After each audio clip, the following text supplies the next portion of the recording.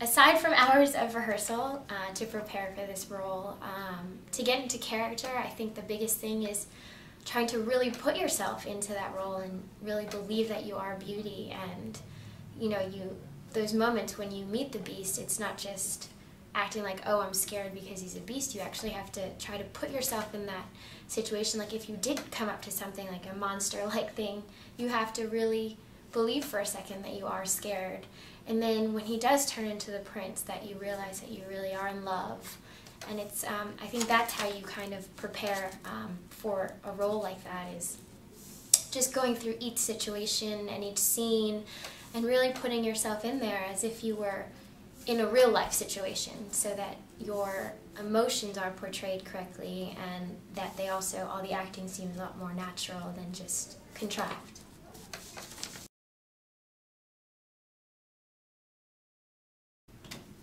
In this production, there are some unique aspects um, to it, as you know, in comparison to other fairy tale ballets that we've done. You know, in most typical productions, you have your typical ch scene changes, where the person will exit stage and then come back, or you know, and that kind of changes the scene. But what we've done in this production, or what Robert Weiss has done, is that he's added this vortex um, type thing that. Um, adds a little more effect. You know, it has lights and, and fog and everything, and that kind of represents the switching and the magic between going from the beast castle back to home and then back to the castle again.